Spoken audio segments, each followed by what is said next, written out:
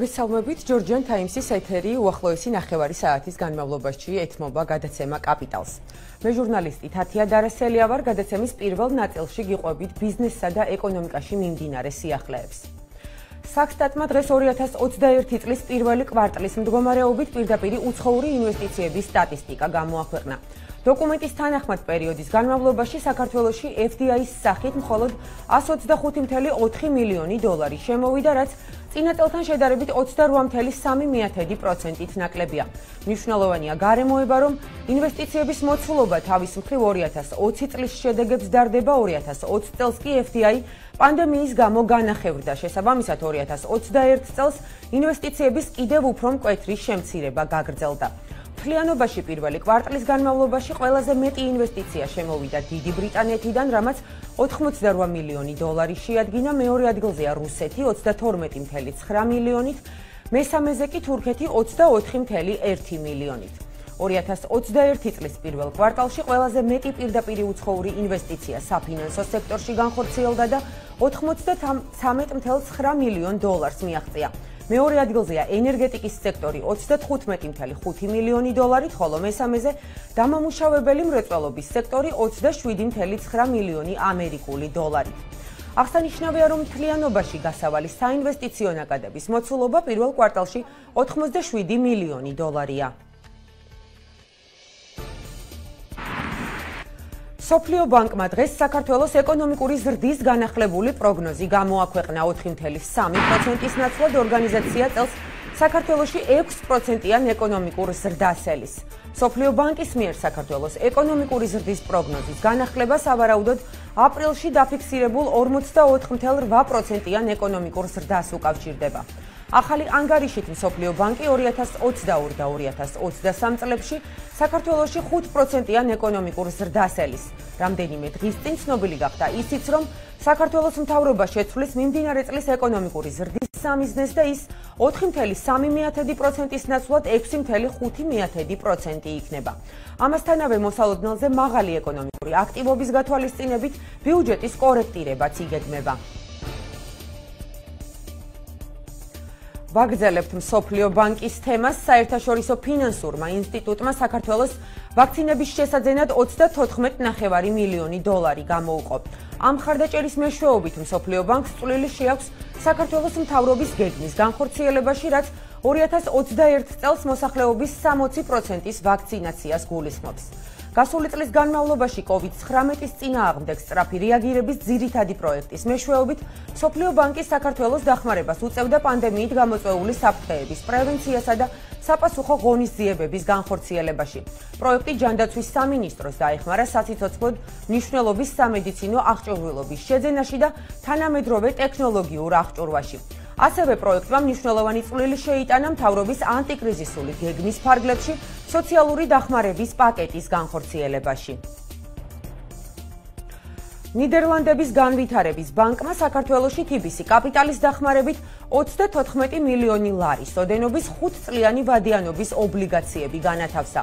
ემისია სრულად ტერაბანკმა შეიძინა, ხოლო აღნიშნული ობლიგაციების დაგირავებით ბანკს საშუალება ექნება ობლიგაციების ნომინალური ღირებულების 95% საქართველოს ეროვნული ბანკიდან რეფინანსირების განაკვეთში მოიზიდოს.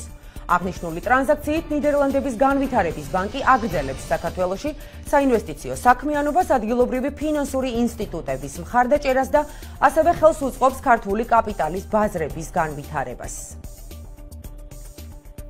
2021 წლის მაისის ტურიზმის ამსახველი ანგარიშიდან ირკვევა, რომ გასული თვის განმავლობაში საქართველოში პანდემიის დაწყებიდან რეკორდული რაოდენობის 104700 ვიზიტორი იმყოფებოდა. ვიზიტორთა ეს ნაკადი წინა წელთან შედარებით 180%-ით მეტია, პანდემიამდელ პერიოდთან შედარებით კი 85%-ით ნაკლები. როგორც სტატისტიკიდან ირკვევა გასული თვის განმავლობაში ვიზიტორთა ნახევარზე მეტი 42688 ადამიანი საჰაერო გზით შემოვიდა ქვეყანაში, რაც გააქტიურებულ საჰაერო მიმოსვლას უკავშირდება. მაისში ყველაზე მეტი ვიზიტორი ქვეყანაში თურქეთიდან შემოვიდა, ხუთეული კი ასე გამოიყურება. ვიზიტორებით რაოდენობით მეორე ადგილზეა უკრაინა, მესამეზე ისრაელი, მეოთხე პოზიციას რუსეთი იკავებს, ხუთეულს კი სომხეთი ასრულებს. საქართველოს ეროვნული ბანკის მონაცემებით კი აპრილში, როდესაც საქართველოში 83000 ვიზიტორი იმყოფებოდა, ქვეყნის შემოსავალმა საერთაშორისო ტურიზმიდან 50 მილიონი დოლარი შეადგინა. სავარაუდოდ მაისში ეს მაჩვენებელი 10-15%-ით მეტია. ღვინის ეროვნული სააგენტოს ინფორმაციით 2021 წლის იანვარ-მაისში საქართველოსდან სოფლიოს 55 ქვეყანაში 36.4 მილიონი ბოთლი ღვინოა ექსპორტირებული, რაც 15%-ით აღემატება 2020 წლის ანალოგიური პერიოდის მაჩვენებელს. ექსპორტით მიღებული შემოსავალი 82.4 მილიონი დოლარია, ზრდამ გასული წლის ამავე პერიოდთან შედარებით 8%-ს მიაღწია. ექსპორტი გაიზარდა ქართული ღვინის სტრატეგიულ ბაზრებზე, როგორიც არის პოლონეთი, ლიეტუვა, ამერიკის შეერთებული შტატები, ესტონეთი და გერმანია. ექსპორტიორი ქვეყნების პირველი ხუთეული კი ასე გამოიყურება ლიდერობს რუსეთი, შემდეგ უკრაინა, პოლონეთი, ჩინეთი და ყაზახეთი. აღსანიშნავია, რომ გარდა ქართული ღვინისა 2021 წლის 5 თვეში საქართველოსდან ექსპორტირებულია 13.5 მილიონი ბოთლი ბრენდი და 209.000 ბოთლი ჭაჭა. ბრენდის ექსპორტით მიღებული შემოსავლები გაიზარდა 3%-ით და 23 მილიონ ამერიკულ დოლარს მიაღწია. ხოლო ექსპორტირებული ჭაჭის ღირებულება 567.000 ამერიკულ დოლარს აღწევს, შემოსავლების ზრდა კი 30%-ია. ჯამში იანვარ-მაისში საქართველოსდან ღვინის, ბრენდის, ჭაჭის საბრენდე სპირტისა და ჩამოსასხმელი ბრენდის ექსპორტის შედეგად მიღებულია 130 მილიონი ამერიკული დოლარის შემოსავალი. აღნიშნულ პერიოდში სხვადასხვა მოცულობის ქართული ღვინისა და ალკოჰოლიანი სასმელების ექსპორტი 270-მა კომპანიამ განახორციელა. ბიზნესსა და ეკონომიკაში მიმდინარე აქტუალური ახალი ამბების შემდეგ კაპიტალში საუბარს ვაგრძელებთ საქართველოს კონკურენციის ეროვნულ სააგენტოზე, რომლისთვისაც 2020 პანდემიური წელი არაერთი სიახლით იყო გამორჩეული. ბოლო ახალი ამბავი კი ანტიდემპინგურ კანონმდებლობას ეხება 1 ივნისიდან სააგენტომ დემპინგთან დაკავშირებული განაცხადების მიღება დაიწყო. ინფორმაციისთვის გეტყვით, რომ ვაჭრობაში ანტიდემპინგთან დაკავშირებული კანონი იანვრიდან შევიდა ძალაში, რომლის აღსრულებას კონკურენციის სააგენტოს დაევალა. შეიქმნა სპეციალური 4 წევრისგან შემდგარი დეპარტამენტის, რომელიც იურისტებითა და ეკონომისტებით არის დაკომპლექტებული. როგორ მოხდება კანონის აღსრულება და რას ემსახურება ეს კანონი, რომელიც სიახლეა ქართული რეალობისთვის? ამ და სხვა საინტერესო თემებზე, რომელიც კონკურენციის ეროვნულ სააგენტოს და მის საქმიანობას უკავშირდება, სააგენტოს თავმჯდომარე ირაკლი ლეფინაძე გვესაუბრება. ბატონი ირაკლი უკვე კაპიტალის სტუდიაში იმყოფება. ძალიან დიდი მადლობა, რომ გამონახეთ დრო და ხართ ჩვენთან ერთად. ძალიან დიდი მადლობა. პირველ რიგში გილოცავთ წინვალე სტუდიას და ახალ ფორმატს და წარმატებებს გისურვებთ და მადლობა კიდევ ერთხელ მოწვევისათვის. თქვენ პირველად ხართ ჩვენთან სტუდიაში, მაგრამ დარწმუნებული ვარ, რომ კიდევ არაერთხელ იქნებით ჩვენი სტუდიის სტუმარი საინტერესო თემებით. პირველ რიგში მინდა გთხოვოთ განმომარტოთ საზოგადოებას რას ნიშნავს ანტიდემპინგური კანონმდებლობა, რა არის მიზანი ანტიდემპინგური ღონისძიებების და ასევე საინტერესოა ამ 9 დღიან მონაკვეთში 1 ივნისიდან დღემდე თუ მიიღეთ უკვე განაცხადი.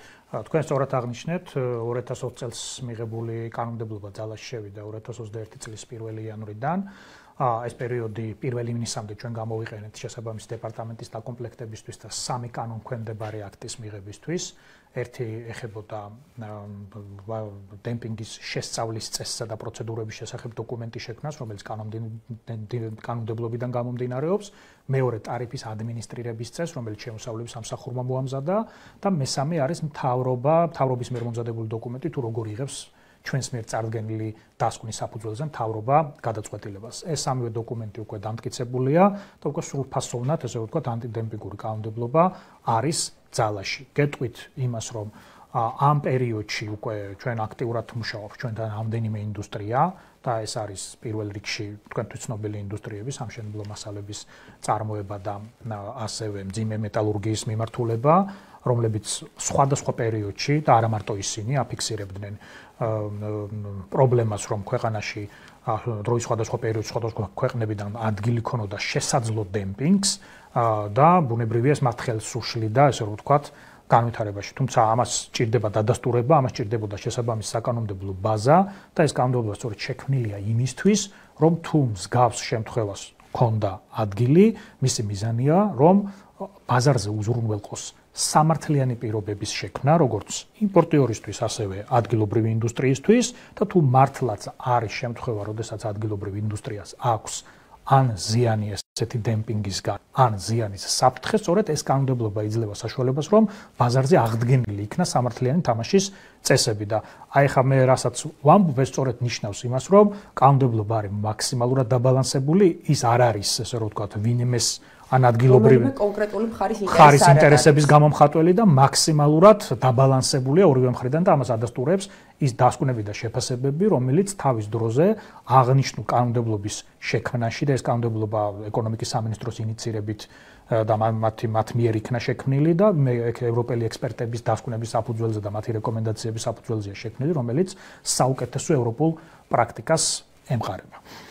და თუ გამარტავთ აი მაგალითად თუ საინტერესოა მაყურებლის თქვენ დასვით კითხვა რომ აი დემპინგი რა პროცესია ეს რომ ჩვენი მაყურებლისთვის იყოს გასაგები ეს არის კლასიკური განმარტებით, როდესაც ადგილობრივ ბაზარზე სხვადასხვა ქვეყნებიდან დროის გარკვეულ მონაკვეთში შესაძლოა ადგილი კონდეს პროცესს, როდესაც იმ ქვეყანაში წარმოებული პროდუქტის თვითღირებულების ფასი უფრო მეტია ვიდრე ქვეყანაში ექსპორტირებული პროდუქციის ფასი და თუ ეს გრძელდება გარკვეული პერიოდის განმავლობაში და სხვა ფაქტორებით არ არის გამოწვეული და მისი მიზანია ჩვენს ბაზარზე გარკვეული საბაზრო წილის მოპოვება ეს უკვე არის დემპინგი და ასეთ შემთხვევაში ხდება ირღვევა კონკურენციის პირობები. ნუ ასეთ შემთხვევაში ირღვევა ბაზარზე სამართლიანი ვაჭრობის პირობები, რაც შეიძლება შეფასდეს დემპინგად და ნუ ამის შემდეგ იძლევა ჩვენი კანონმდებლობა მოქმედების საშუალებას. ხო სამ პირობაა იქ რა. მაგალითად ვახსენე რომ ერთი თუ ადგილი აქვს დემპინგს, მეორე თუ ამ დემპინგის შედეგად ან ზიანი ადგება ადგილობრივ ინდუსტრიას, ამაზე ადგილობრივ ინდუსტრია საუბრობს, ან ზიანის საფრთხეს მატარებელია და ამ დემპინგს და ამ ზიანის მაჩვენებლებს შორის არის მიზოშედოგობრივი კავშირები, იმიტომ რომ შეიძლება შესაძლოა ეხა დემპინგს კონდეს ადგილი, მაგრამ ზიანი არ არ დგებოდეს, ან მაგალითად სხვა ფაქტორების იყოს ეს ზიანი გამოწვევა. ამიტომ თუ ეს პირობები კმაყოფილდება, უკვე ამის შემდგომ ხდება ესე რომ ვთქვათ, როგორც ასეთი დემპინგის პროცესის წარმოებაზე პროცესზე აუცილებლად კითხავთ მანამდე ანუ პროცედურული ნაწილია ეს და ამ 9 დღეში ჯერ განაცხადი არ არის მიღებული თქვენ ახსენეთ სამშენებლო სექტორი და მეტალურგია. კიდევ რომელია ის სექტორები საიდანაც თქვენ გაქვთ ინფორმაცია რომ შეიძლება შემოვიდეს განაცხადი? იმ დისკუსიების ზე დახტომობით რაც იგივე კანონმდებლობის განხილვის დროს მიმდინარეობდა ის რა ის ის ინფორმაცია რაც სხვადასხვა პერიოდში, სხვადასხვა უწყებებში შესულა წუხილის სახით, რომ მათ აწუხებთ ესე რომ ვთქვა, აი ესეთი ტიპის პრობლემა, ну, აი შეიძლება იყოს აგროინდუსტრია ასევე და სხვადასხვა სამშენებლო მასალების წარმოება. თუმცა კიდევ ერთხელ ვამბობ, რომ იმისთვის, რომ ჩვენ მივიღოთ განაცხადი ამისთვის საკმაოდ ისეთ ჩვენ ვებგვერდზე უკვე განთავსებულია განაცხადის სპეციალური ფორმა, რომელიც თავრობის გადაწყვეტილებით არის დამტკიცებული და იქ საკმაოდ მოცულობითი ინფორმაცია წარმოსადგენი იმ მაჩვენებლების შესახებ თუ რა ფასია ექსპორტიორ ქვეყანაში? თუ როგორია საექსპორტო ფასი ჩვენს ქვეყანაში? როგორია სხვაობა მათ შორის? რა პერიოდშია აღნიშნული სხვაობა დაფიქსირებული? ეს ფასთა შორის სხვაობა და დემპინგი თუ რა ზიანს აყენებს ადგილობრივ ინდუსტრიას და ეს ზიანი უნდა იყოს დასაბუთებული და ყველაზე მთავარი თუ ადგილობრივი ინდუსტრიების ის ვინც პრობლემას სვამს მათი 50%-ზე მეტი არის ხელის მომწერი ამ განაცხადზე და მათი ერთობლივი წირი არ აღემატება უბრალოდ არ არის ნაკლები 25%-ზე, ხოლო ასეთ შემთხვევაში ხდება დასაშვებადობა განაცხადის. მარტივად რო აუხსნა. ანუ ამ შემთხვევაში დაიწყებს კონკურენციის საგეტო ბაზრის შესწავლას. დაიწყებს ბაზრის შესწავლას, ოღონდ ის სამი პირობა, რა ვთქვი, დემპინგს უნდა კონდეს ადგილი, ზიანიან ზიანის საფრთხე უნდა ფიქსირდებოდეს და ეს უნდა იყოს კავშირში ერთმანეთთან და მარტივად რო აუხსნა, მაგალითად ორი კომპანია ადგილობრივი ინდუსტრიის ბაზარზე ერთს უჭირავს მაგალითად პირობითად 30%, მეორეს 70%, თუ 30%-ის ბაზარზე წილის მქონე კომპანია ჩვენ მოგმართავს და გვეუბნება რომ დემპინგს აქვს ადგილი, მაგრამ მეორე კომპანია რომელსაც 70% აქვს ამბობს რომ საერთოდ არ აქვს პოზიცია აღნიშნულ საკითხთან დაკავშირებით, ასეთ შემთხვევაში განაცხადი დასაშვებად ითვლება, იმიტომ რომ 20-25%-ზე მეტია იმ ერთი კომპანიის წილი, რომელიც პრობლემას სვამს და ნუ მეორე ნეიტრალურია ასეთ შემთხვევაში, მაგრამ მეორე თუ წინააღმდეგია და არ ეთანხმება მას. ასეთ შემთხვევაში უკვე განაცხადის დასაშვებადობა არ განიხილება, იმიტომ რომ ესე იგი უფრო მეტი ეწინააღმდეგება ამ პრობლემის დასმას, ვიდრე პირობითად ის ვინც ამ პრობლემის ესე ვთქვათ წარმომჩენია ჩვენთან მიმართებაში ბაზარზე და ეს არის ასე ვთქვათ ეს პროცედურული ნაწილი, რომელიც ახლავს ამ საკითხ საკმაოდ მოცულობითი და ესეთი რთული ინფორმაციის წარმოქმნაა საჭირო და ეს გონერულობის ფარგლებშია რა თქმა უნდა ეხლა ცხელი არ მიუთვდებათ იმას ჩვენ არ მოთხოვთ და მაგას ჩვენ გადავამოწმებთ როგორც ასეთი. და ნუ შემდგომ შესწავლის შემდგომ უკვე იწყება ვადებით არის განსაზღვრული მთელი ის პროცესი თუ რა ვადაში ვადებს მინდო და მეკითხა რა ვადებზია საუბარი იმიტომ რომ გაჟღერდა რომ საკმაოდ დიდი ვადებია ეს და შეიძლება რაღაცა პრობლემა წარმოიქმნას კი გარკვეულ ინდუსტრიას ამასთან დაკავშირებით ჰქონდათ მოსაზრებები რომ ეხლა თუ პირობითად განაცხადის მიღებიდან 45 დღის ვადაში უნდა მოხდეს ასე ვთქვათ ასაშვებადობის განხილვა, შემდგომ კიდე დამატებით ემატება დღეები თუ ამის საჭიროება ერთ წლამდე გრძელდება ასე ვთქვათ დასკვნის დასკვნის დასრულების პერიოდი და ამას კიდე შეიძლება 6 თვე დაემატოს, ანუ ჯამში 18 თვე გამოდის, ეს არის ოპტიმალური პერიოდი, რავადაში შეიძლება დასრულდეს შესწავლა ან ერთი შედეგით, ან მეორე შედეგით.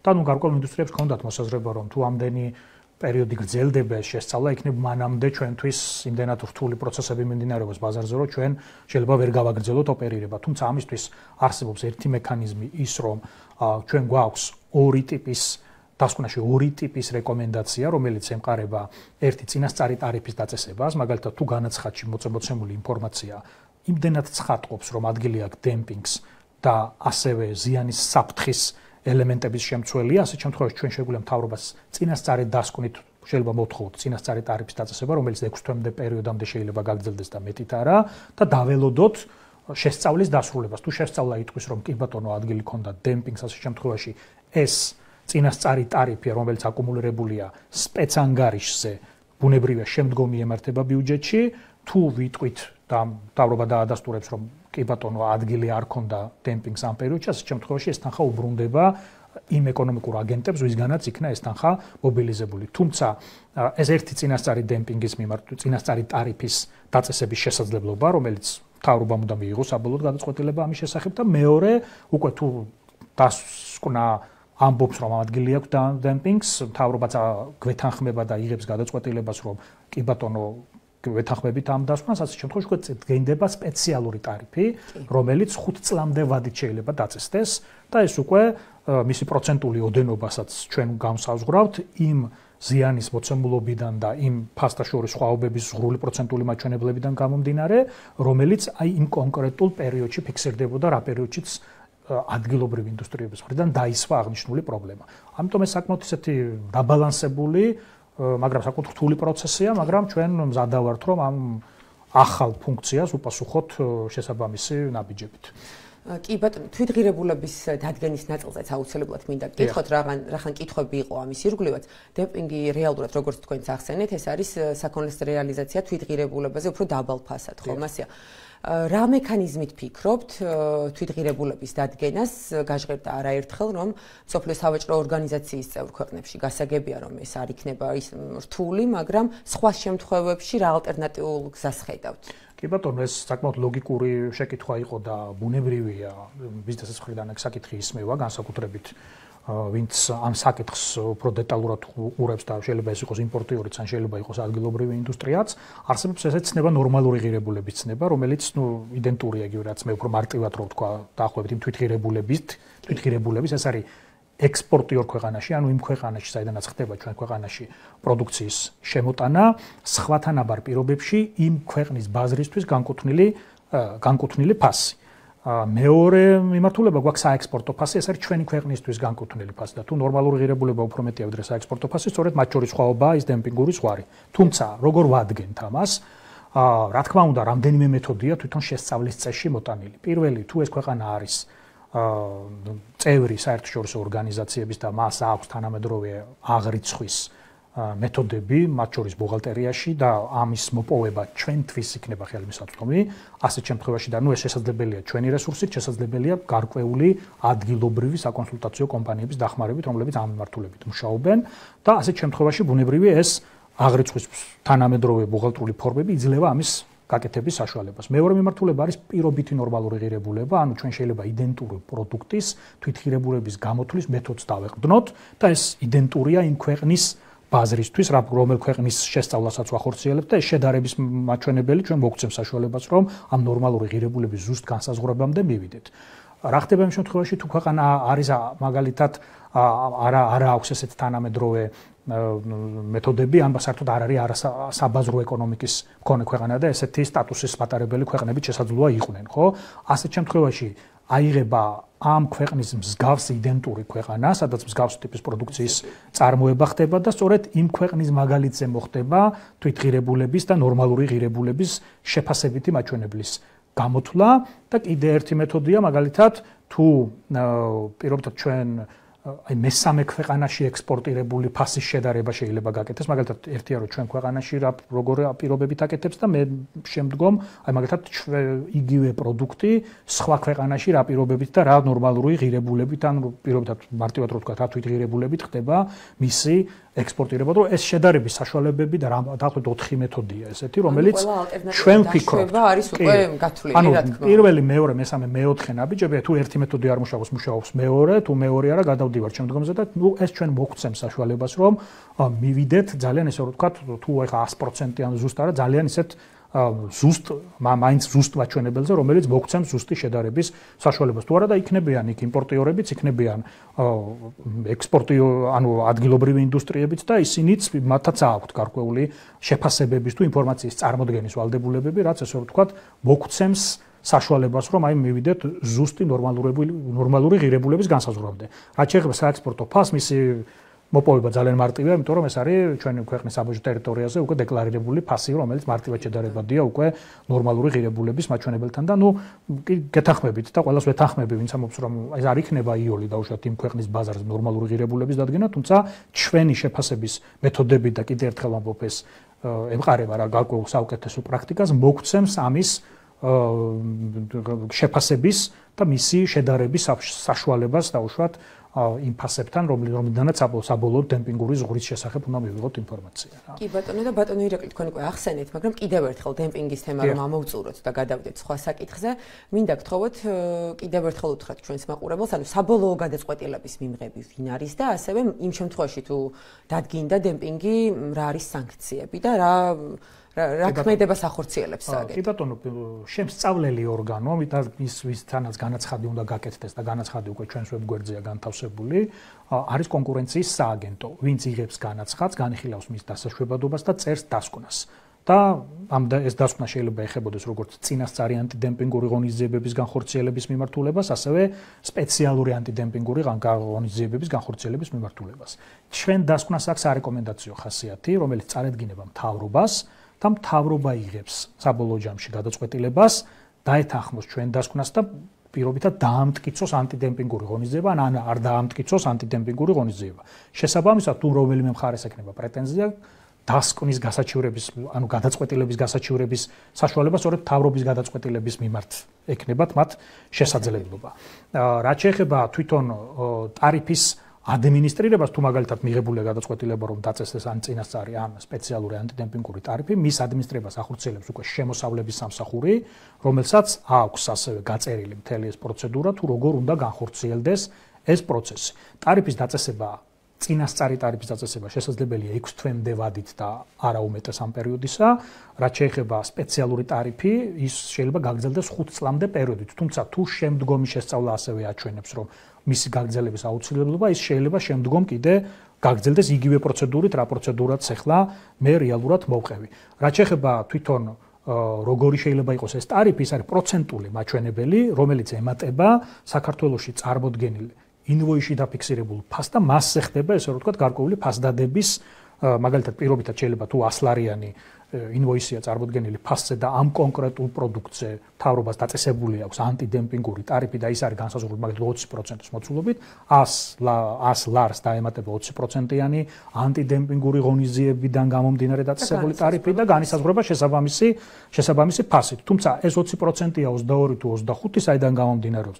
ამას ვითვლით ჩვენ და ეს არის სწორედ სხვაობა ნორმალურ ღირებულებას საექსპორტო ღირებულებას და იმ ზიანიდან გამომდინარე რომელიც შეიძლება საბოლოო ჯამში აისახოს ამ პროცენტულ მაჩვენებელს. ეს დეტალურად არის ასახული ჩვენს გაიდლაინებში, ჩვენს შესწავლის წესში და ნებისმიერ დაინტერესებულ ხარეს შეუძლია ნახოს თუ როგორ დგინდება პირობითად აი ეს დემპინგური ზღვრები და ტარიფისთვის განსაზღვრული პროცენტული მაჩვენებელი. კი, და ამისთვის ჩვენ კიდევ გეგმავთ ძალიან ბევრ შეხვედრას, როგორც ბიზნეს ასოციაციებთან მქონდა რამდენიმე და კიდევ გვექნება და მათ შორის ჟურნალისტებთანაც, რადგანაც ბიზნეს სფეროში მოღვაწე ჟურნალისტები ერთ-ერთი მთავარი ასე ვთქვათ ამ ამ ინფორმაციის გამტარებლები და მომხმარებლები არიან და მე დარწმუნებული ვარ ძალიან ბევრ кейსზე ძალიან დიდი ინტერესი იქნება, ამიტომ იმისათვის რომ ზუსტად ვიცოდეთ თუ როგორ პროცედურებს აქვს ადგილი და როგორ ხდება რა სტანდარტით მთელი ეს პროცესის განხორციელება, ამისთვის ჩვენ ვთვლით რომ აი მაქსიმალურად ინფორმაცია მივაწოდოთ ყველა დაინტერესებულ მხარესთან, ნუ ამაზე ჩვენ კიდევ გვექნება საშუალება რომ უფრო დეტალურად ვისაუბროთ ამ მიმართულებებზე. აუცილებლად და ცოტა დრო დაგვრჩა, მაგრამ აუცილებლად უნდა გკითხოთ, შესავალში ვახსენეთ რომ 2020 წელი იყო განსაკუთრებული და სიახლეებით სავსე კონკურენციის ეროვნული სააგენტოსთვის. თქვენ გაგეზარდათ უფლება მოვალეობები. პრაქტიკაში როგორ ხორციელდება, რო გითხრათ და ასევე ბოლოს სიახლეები გარდა ანტიდემპინგური კანონმდებლობისა რა აქვს სააგენტოს რომ მოგვიყვეთ. კი ბატონო, ყველაზე მთავარი რაცაც დღეს ჩვენ გგრძნობთ, ეს არის ინფორმაციის მოწოდების მაჩვენებლის გაუმჯობესება პრაქტიკულად თუ წინა წლებში იყო პრობლემა და ბევრი მონიტორინგის პროცესში საერთოდ არ გვაწოდიდა ინფოს დღეს არ არსებობს ჩვენ მონიტორინგის პროცესში გამოვითხოვოთ ინფორმაცია და ამაზე იყოს გაწერილ დროში თუ ეხლა თანხმდებით ბუნებრივი ოპტიმალურ ვადებზე მაქსიმალურად ესე რომ ვთქვა 10%-იანი მაჩვენებელი გვაქვს ინფორმაციის მოწოდებით. ეს პირველი შედეგია. ჩვენი კანონმდებლობის თუმცა ჯერ მხოლოდ 6 თვეა დაახლოებით რაც კანონმდებლობა ძალაშია და სხვა სიახლეების გამოყენებას ველოდებით, რომ ან წელს ან მომავალ წელს უკვე აქტიურად ამაზე გვექნება кейსები, იგივე დავუშვათ სხვა მარეგულირებლებთან ერთად თუ პირობითად სხვა ისეთი პროცედურული ნორმებიდან გამომდინარე. 2021-ის სიახლეები შემიძლია გითხრათ ის, რომ ჩვენ სამი მოკლევა გვქონდა და აქედან ორი უკვე დასრულებულია და ერთ შემთხვევაში შეთანხმებული ქმედება იქნა გამოვლენილი და კომპანიები დაჯარიმდნენ. ოთხი კომპანია, ერთი არაკეთილცინდისერი კონკურენციის ფაქტზე იყო და არ დადასტურდა.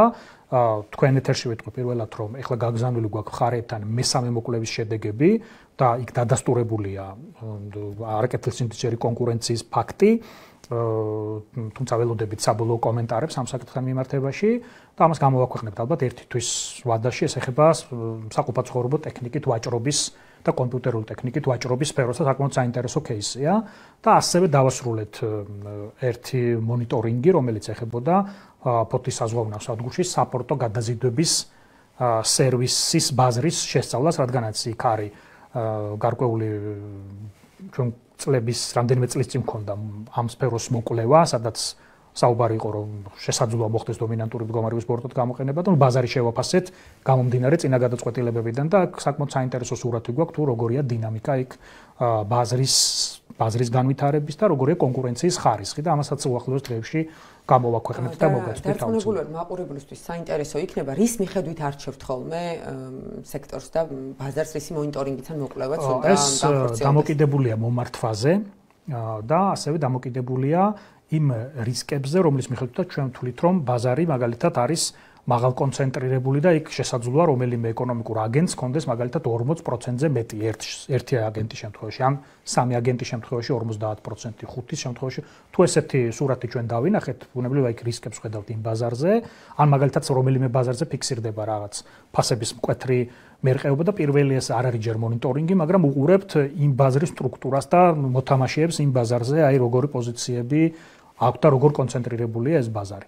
ასევე ერთი სიახლე გვაქვს კიდე, რომელიც ყოველ კვარტალურად ჩვენ ვაკეთებთ ანალიზს ინფორმაციისას თუ რამდენი კონცენტრაცია განხორციელდა ქვეყანაში, რომ არ გამოგრჩეს ისეთი კონცენტრაცია, რომელიც ჩვენი კანონმდებლობის მიხედვით სავალდებულოა შეთანხმებისთვის. ანუ ეს გულისხმობა თუ ორი კომპანია ერთიანდება, მათი ერთობლივი შემოსავალი 20 მილიონ ლარზე მეტია და თითოეულის არანაკლებ 5 მილიონ ლარზე ნაკლები ასე შემთხვევაში ეთან ანუ სავალდებულ შეთანხმებას ითხოვს და ბუნებრივია ჩვენ რეესტრთან აქტიურად თანამშრომლობთ და ყოველ კვარტალურად უყურებთ განხორციელებულ კონცენტრაციებს, რომ თუ კანონმდებლობასთან შეუთავსებელი კონცენტრაცია განხორციელდა, შესაბამის ქმედებები განხორციელოთ 2020 წლის 4 ნოემბრიდან 31 მარტამდე დაახლოებით 7800-მდე კონცენტრაციის ანალიზი გავაკეთეთ. იქ მსგავსი არ ყოფილა, თუმცა ძალიან მალე დავიწყებთ მეორე კვარტლის შეფასებას, რომ იქაც შევხედოთ აღნიშნულ სურათს და ნუ ეს საკითხებია, რომელთ რომელთაც აქტიურად ვართ ახლა დაკავებული. ბატონო ირაკლი, ესე მასშტაბურად მინდა გკითხოთ, რამდენად კონკურენტულია ბიზნეს გარემო საქართველოს, როგორია თქვენი შეფასება? აა, იცით, იმ ბაზრებზე, სადაც ჩვენ გვაქვს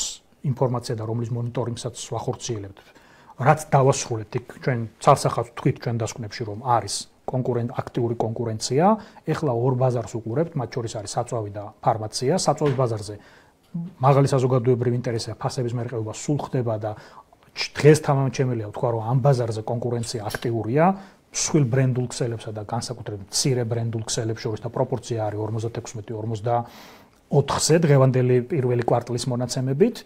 აა რაც შეეხება ფარმაციის ბაზარს, ბაზარი ამ ნაწილში არის მაღალ კონცენტრირებული, აქაც მაღალი საზოგადოებრივი ინტერესია, იმიტომ რომ ფასები მუდმივად იზრდება და ყველა საინტერესებს, თუმცა 6 მედიკამენტების ჯგუფის მიმართულებით ვაკეთებთ ანალიზს და ამის შედეგებს ჩვენ ალბათ მე დაახლოებით მე-4 კვარტალში, მე-3 მე-4 კვარტალში გავაცნობთ დაინტერესებულ მხარეებს. თუმცა შემიძლია ვთქვა, რომ ბაზარი მაღალ კონცენტრირებულია, მომხმარებელი ნაკლებ ინფორმირებულია და საჭიროა აი ამ ძალაუფლების ცენტრის გადატანა მომხმარებლის მხარეს, რომ უფრო მეტი აქტიური კონკურენცია იყოს ამ ბაზარზე. კი ბატონო, რაც გამოიწვევს ფასების შემცირებას. ხომასია. შესაძლოა, კი ბატონო.